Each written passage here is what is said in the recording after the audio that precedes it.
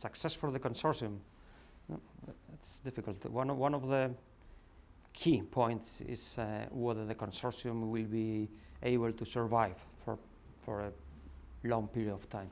Because uh, as, as we were saying before, all these issues related to innovation uh, are not short term. So, uh, I mean, if uh, we run a risk of, uh, of trying to get fruits from the consortium too early.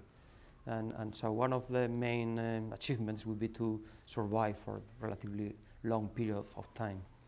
And, uh, and I don't think that uh, obtaining um, individual or isolated interesting projects, that's not, the, that's not the main aim of the whole thing. The main aim is to, to contribute to more solid, uh, let's say, um, framework of, uh, of work between, uh, between Madrid and, and Boston, but also between Madrid sites, because uh, we also in Madrid, uh, not, not, not, not, not only between clinicians and, and technical people, but also between technical people, we don't have a lot of communication. So, and that's something I think the, this, uh, this program may contribute to improve uh, a lot in, in, a, in a medium uh, term.